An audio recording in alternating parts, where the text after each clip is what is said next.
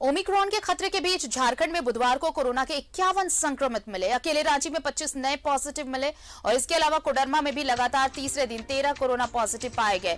बीते अट्ठावन दिन में पहली बार इतनी बड़ी संख्या में रांची में कोरोना के केस मिले हैं। इससे पहले बीते 24 अक्टूबर को रांची में एक साथ पच्चीस संक्रमित मिले थे। रांची में नए संक्रमितों के मिलने के बाद कुल एक्टिव मरीजों की संख्या बयानबे हो गई है। बुधवार को छह मरीजों को कोरोना संक्रमण से मुक्त घोषित किया गया।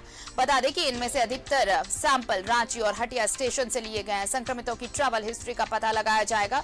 अगर कोई संक्रमित दिल्ली या केरल जैसे राज्यों से लौटा है तो उसे ट्रेस कर कॉन्टेक्ट ट्रेसिंग भी की जाएगी। बता दें कि सबसे ज़्यादा कोरोना के मरीजों की सैंपलिंग दिल्ली से आने वालों की हो रही है।